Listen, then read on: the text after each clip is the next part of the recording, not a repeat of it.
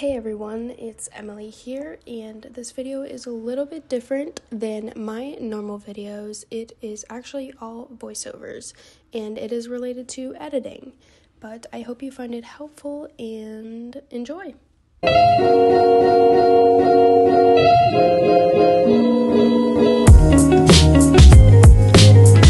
Do you ever have the problem of your clips glitching in iMovie? If so, you came to the right place. I have this issue all the time when I'm editing, and I finally found a way to fix it. All you need to do is import the video to your computer.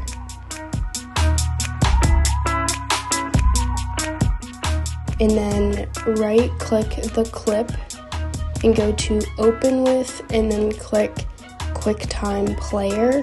Once you're in QuickTime Player, you just click File and then go down to Export As, and then do the highest or 180. You can name it whatever you want and just save it to your desktop, and it will export to your desktop. And then the clip will be ready to use, and it shouldn't glitch.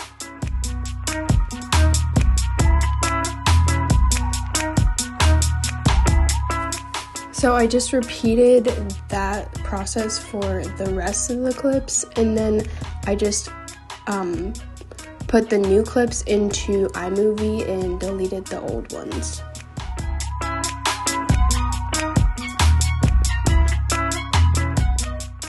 So this is me just trying to get the um, video to be exactly edited to how the first clip was so that I could show you a comparison of the before and after.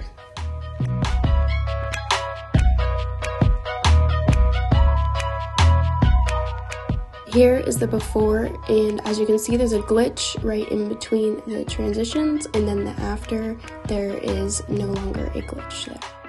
If you found this video helpful, give it a like, and if you're new, hit that subscribe button, and also comment down below if you have any other questions dealing with the glitching or anything else with iMovie or editing. Thanks so much for watching, and I will see you in my next video. Bye, guys.